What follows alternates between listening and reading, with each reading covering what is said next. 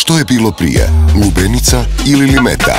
Okreće li se limeta oko lubenice ili obrnuto? Okusi pa filozofiraj. Na putovanju po Grčkoj s ekipom pošalji broj računa bilo koje senzacije i čuvaj ga do destinacije. Osvoji putovanje ili druge senzacionalne nagrade.